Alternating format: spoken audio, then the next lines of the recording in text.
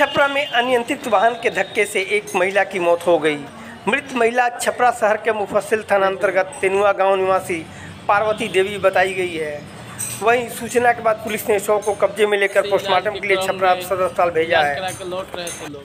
तब तक जैसे रोड क्रॉस कर रहे थे अज्ञात वाहन के द्वारा उनका एक्सीडेंट हो गया। कौन थी? वो सरीखा राय की पत्नी थी। नाम? नाम उनका पार्वती देवी था। और पति पत्नी दोनों आदमी गए हुए थे डॉक्टर के पास।